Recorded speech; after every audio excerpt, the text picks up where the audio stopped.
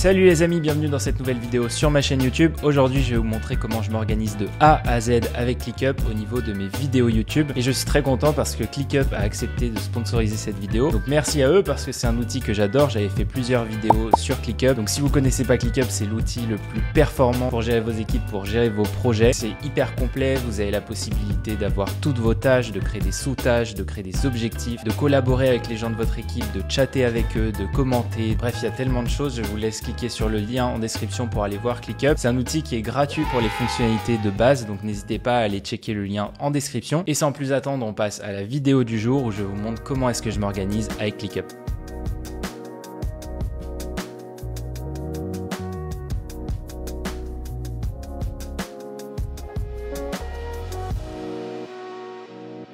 Alors je vais vous montrer comment est-ce que je m'organise sur ClickUp, donc comment est-ce que moi je crée mes différentes tâches, comment est-ce que j'écris mes scripts, comment est-ce que je m'organise au niveau des différentes dates, comment est-ce que je m'organise aussi avec mon monteur, parce que parfois il y a des vidéos que je fais monter, parfois je les monte moi-même. Et donc voilà, je vais tout vous expliquer de manière hyper transparente, j'espère que ça pourra vous donner des idées.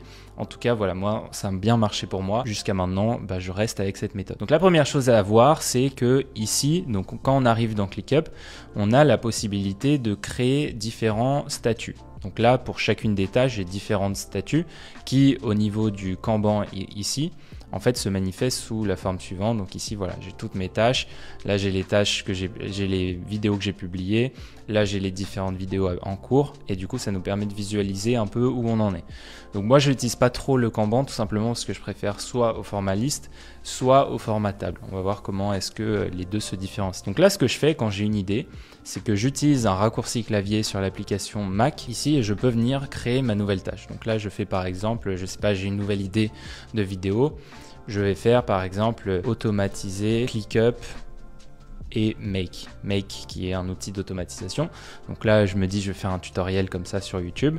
Et donc là, j'ai juste à créer ici. Donc je fais pas de template, rien du tout. Euh, et juste, je vais créer une tâche. Donc je fais commande entrée et directement, ça va venir créer la tâche euh, et l'ajouter dans la liste euh, des tâches qui est ici. Et donc dès que je clique sur à scripter, ça veut dire que je planifie de la faire et du coup, je vais lui donner une date. Donc pour ça, j'ai créé une nouvelle vue au, format table ici, où j'ai mes différentes euh, vidéos avec notamment plein d'informations sur les différentes dates. Donc ce que j'aurais pu faire par exemple, c'est venir ici, et là, donc là je mets mon script, etc. Ce que j'aurais pu faire, c'est créer des sous-tâches. Moi, je ne crée pas de sous-tâches tout simplement parce que je trouve ça un petit peu euh, lourd pour mon workflow, parce que sinon ça fait beaucoup de différentes tâches, et j'ai remarqué que si j'utilisais des sous-tâches, fois j'avais vraiment un peu du mal à voir quelle était la date de fin du projet, parce que chacune des étapes avait des dates de fin différentes. Donc là, ce qui est utile avec cette méthode-là, donc je ne crée pas de sous-tâches, mais à la place, ce que je crée, c'est différentes étapes. Donc je crée différentes dates ici en utilisant les champs personnalisés. Donc là, on peut créer des champs personnalisés ici en cliquant sur Nouveau champ personnalisé et on peut décider que par exemple ce champ-là, c'est une date. Donc ici, j'ai des dates qui correspondent en fait à chacune des étapes de mon processus. Donc là, par exemple, j'ai le script qui correspond à à scripter, j'ai enregistrement qui correspond à à tourner, j'ai euh, montage qui correspond à monter, rendu c'est quand mon monteur a fini, et ensuite publication, etc.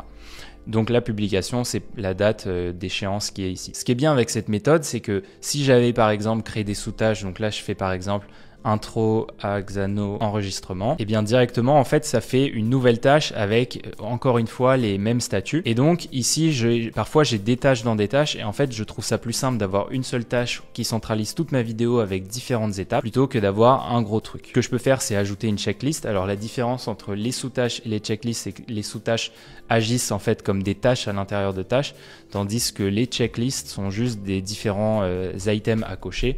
Donc la différence c'est si par exemple je fais enregistrement ici, et eh ben elle apparaît là et ici si je fais enregistrement c'est la même chose. Donc je peux lui donner ici euh, je peux juste cocher ça tandis qu'ici bah ça fonctionne comme une date donc je peux encore mettre des sous-tâches euh, dans chacune d'entre elles. Moi je ne les utilise pas tout simplement parce que j'utilise ça à la place donc j'ai pas besoin de mettre de sous-tâches puisque le statut en fait agit comme un indicateur de où j'en suis de ma tâche. Donc ensuite, une fois que j'ai fait ça, une fois que j'ai fait tout ça, je vais définir différentes dates. Et c'est pour ça que j'aime bien cette euh, méthode-là parce que ça me permet en fait de voir, de mettre rapidement les dates. Donc là, par exemple, si je sais que la date d'échéance j'ai mis pour le 3 janvier, et ben du coup le montage je le mets le 3 janvier. Bon, vu que cette vidéo en particulier j'ai pas besoin d'enregistrer, je vais rien mettre. Par contre, ici le 8, et ben je sais que si je dois le publier le 8, ben, je vais le mettre du coup le 6, je vais monter ça le 6 et l'enregistrement bah, je peux dire que je vais le faire du coup le 3 euh, et pareil pour le script. Et donc ça me permet comme ça de visualiser de manière assez simple comment est-ce que je m'organise pour arriver à la bonne date en sachant que ça c'est une bonne fonctionnalité de ClickUp, c'est je peux écrire par exemple dans 4 jours comme ça et ça va reconnaître l'écriture et j'ai juste à faire comme ça. Et donc là, directement, il me le met dans 4 jours. Donc ça, c'est vraiment hyper pratique. Ensuite, une fois que j'ai fait mon... Donc là, j'ai écrit mon script. Par exemple, ici, là, j'avais écrit mon script, donc blablabla. Euh, vous avez un peu les coulisses de tout ça. Et une fois que j'ai fait mon script et que je l'ai enregistré, donc là, je le mets sur à tourner. Une fois que ça s'est enregistré, une fois que j'ai enregistré ma vidéo, eh bien, je vais tout simplement l'uploader. Donc là, ce que je peux faire, c'est directement depuis mon Dropbox, aller chercher le fichier en question. Donc là, je vais dans ma librairie, etc. Voilà, il me, montre ici, je vais dans ma librairie et du coup ça l'ajoute directement en pièce jointe de la tâche. Sinon quand je fais appel à un monteur, je peux aussi lui mettre le lien frame.io afin de pouvoir justement lui briefer la vidéo. Quand je pars sur une vidéo, soit je fais un texte relativement simple comme ça si euh, il n'y a pas grand chose dedans, donc s'il n'y a pas beaucoup de script. Par contre si c'est une vidéo un peu plus fournie, ce que je vais faire c'est que je vais utiliser ici une nouvelle vue qui est la vue mind map.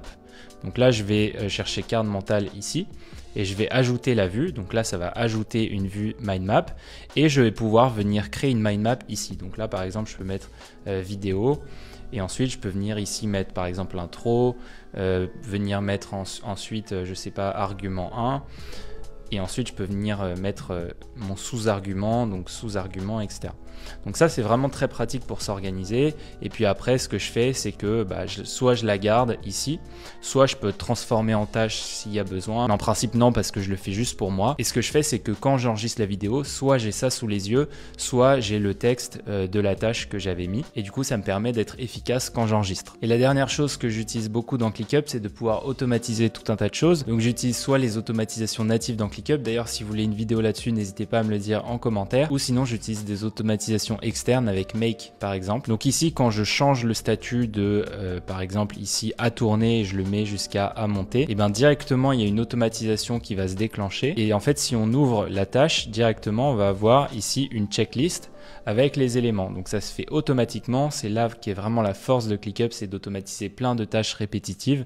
Donc là directement, j'ai pour moi ou pour mon monteur la checklist et je peux vérifier que il ne manque rien. Et une fois que j'ai terminé la vidéo, elle se met automatiquement dans ma section archives et justement là c'est ma prochaine étape. Je vais l'enrichir en utilisant certaines automatisations pour rapatrier directement la miniature. Donc je vous montrerai ça sans doute dans une prochaine vidéo. Si cette vidéo vous a plu, n'hésitez pas à la liker, n'hésitez pas à aller tester ClickUp, le en description. Vraiment, c'est un outil incroyable. Merci à eux d'avoir sponsorisé cette vidéo. Et si vous voulez en savoir plus sur la productivité, sur le no-code, pensez à vous abonner à mon édito, edito.io.fr. Et sinon, on se retrouve très bientôt sur cette chaîne YouTube. D'ici là, gardez toujours cette envie d'entreprendre. Ciao